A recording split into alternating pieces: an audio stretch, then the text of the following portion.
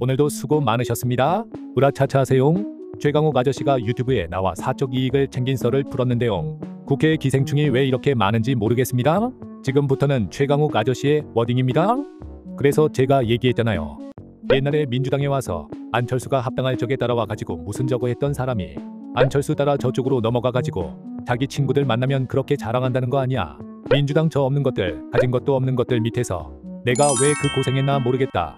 여기 오니까 정보가 많아 가지고 금방 부자가 되는데 그 사람이 실제로 거기 가서 몇 년 만에 부자가 된 거야.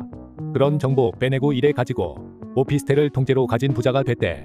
오피스텔 한 개가 아니라 오피스텔이 들어있는 건물 있잖아요. 한 동을요? 건물을요? 한 동을 갖고 있는 부자가 돼가지고 요새는 친구들 만나면 그런데 여자분인데 자기하고 같이 반반씩 저기 투자하자고 그린벨트 그거 다 아프니까 내가 미리 정보 배울 테니까 어디부터 갈 건지 그거 하고 다닌대.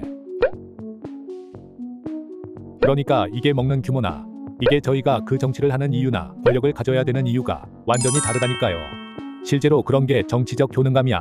그 사람들은 그렇게 하면 돈이 된다. 강미정 선생이 나서 가지고 무슨 정치적 효능감을 느끼십니까?